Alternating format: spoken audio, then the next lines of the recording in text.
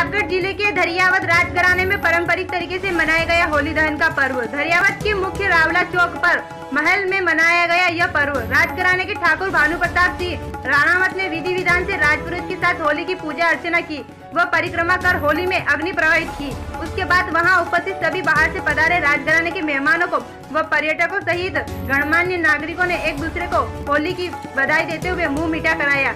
इस अवसर पर ठाकुर भानु प्रताप सिंह राणावत ने सभी ज़िले वासियों को होली के पर्व की शुभकामनाएँ दी।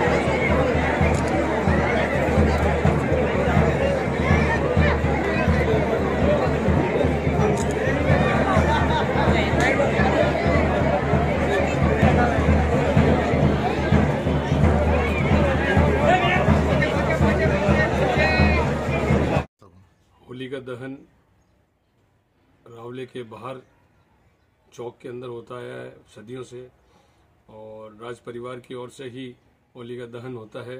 उसके बाद, उस होली के दहन के बाद में जितनी भी होलियाँ हैं यहाँ जो गाँव के अंदर जलाई जाती है, वो यहाँ से अग्नि ले जाके फिर वहाँ दूसरी जगह होली का दहन करते हैं।